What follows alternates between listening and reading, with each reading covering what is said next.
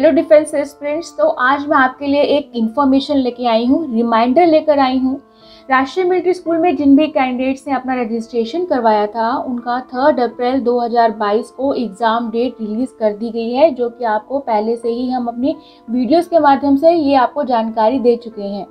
और ध्यान रखने, याद रखने वाली बात यह है कि 10 मार्च 2022 से इसके एडमिट कार्ड रिलीज़ होने जा रहे हैं। तो आप 10 मार्च से अपने एडमिट कार्ड डाउनलोड कर सकते हैं। आप करियर डिफेंस स्कूल के माध्यम से भी अपना एडमिट कार्ड डाउनलोड करवा सकते हैं। साथ ही जिस तरह से तीन अप्रैल को इसका एग्ज़ाम कंडक्ट होने जा रहा है तो आप एग्ज़ाम की बेस्ट प्रिपरेशन के लिए आप free of cost last ten years old sample papers ले सकते हैं, जिसके लिए आप वीडियो के नीचे लिंक दिया गया है। लिंक में जाकर आप रजिस्टर्ड करें। देन आपको पाँच से छः दिन के अंदर बिल्कुल free of cost sample papers provide हो जाएँगे।